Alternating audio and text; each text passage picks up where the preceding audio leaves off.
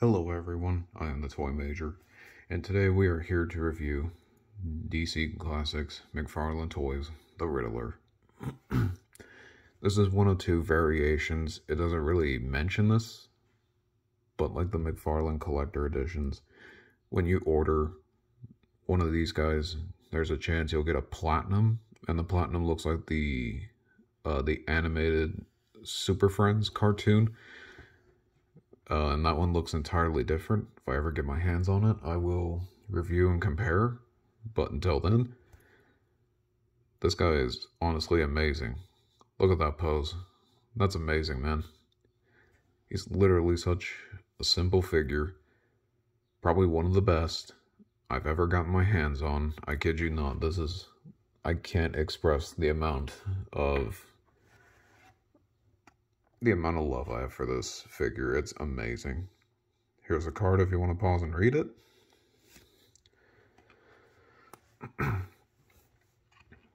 he comes with your traditional McFarlane DC stand.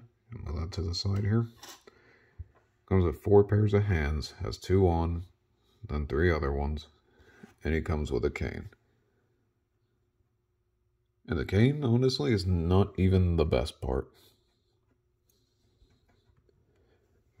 This figure, I kid you not, if you find one and you're on the fence about grabbing it and you're here watching this, stop what you're doing, get some money, get in a car of any kind, get your butt to the store, go find it, and buy it. This is honestly the greatest figure this is like the best one McFarlane has done I've seen. I mean, I have a couple gold labels that are my absolute favorites, but this one is great. Very good with the ankle twisting there. The ratchets on this guy are good and stiff, which imply he will be just fine, or that you will have to apply a little bit of heat, loosen him so he doesn't break you're trying to pose them. Hold on, look at this. This guy, the amount of flexibility is redonk is redonkulous. I actually may have to use a stand for this one. Hold on. It always does that stupid thing. Look at this. Look at this amazing figure. Look at the look at the posing for God's sake. this figure is amazing. In fact, hold on. Got one. And the hands pop off pretty well. They don't feel like they're gonna break. I'm sorry, I need to show the best parts of this figure, and then we will get straight back to it.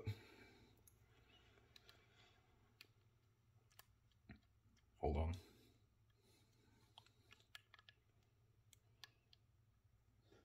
Look at this. Look at this. Look at this amazing posability. It's ridiculous, I tell you. It is amazingly stupid, amazingly redonkulous. Whether it's this or the Super Friends one, like, it would be something like the card where the eyes have detail Hair's a bit of a different color. This one has blue highlights, hinting towards his comic book appearance. And that's what this one is, comic book appearance. So, yeah, this figure is great. It's honestly amazing. It's, I can't describe how this one is literally perfect in every way, shape, and form. Not too much of an ab crunch a fair bend back. Just don't overdo it. You don't want to break it. Oh yeah, I absolutely love this figure. One thing that is interesting to this figure is the fact that it has these, uh, what do the people call pirate cuffs?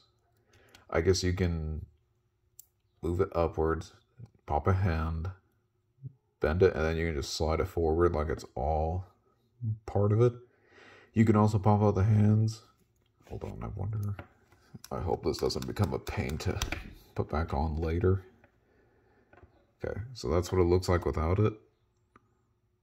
Yeah, I'm I'm I'm not doing. I'm sorry. It looks better with the cuff. See the hand? Let me see. I need to do another pose. You guys, I think, understand. This guy is literally the king of posing these figures. It's amazing.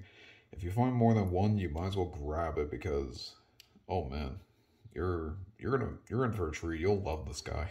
I'm I'm not kidding. I could go on and on about how amazing this figure is, but why tell you when I can show you? Darn feet. There we go.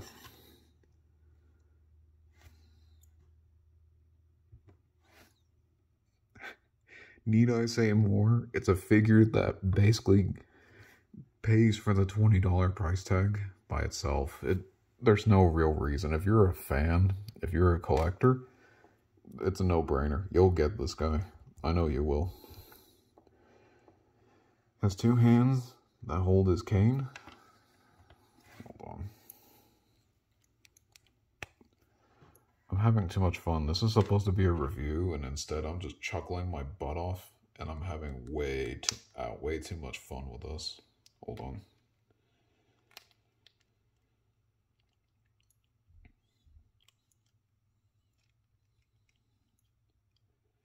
There we go.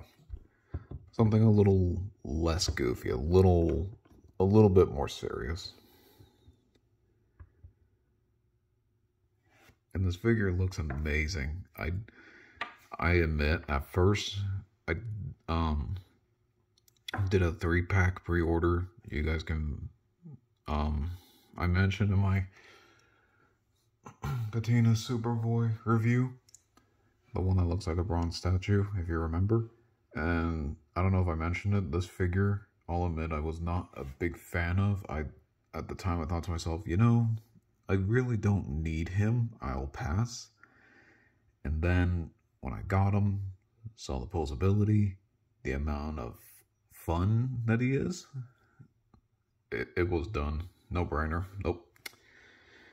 You guys need one of this, one of one of these guys in your collection. You really, really do.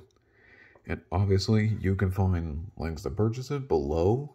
And I'm very happy to be putting those because the more these guys get into other people's hands, yeah, I'm just to say it. We need the world needs more question marks. There's no doubt about it. This is honestly one of the best figures in the world, in my personal opinion.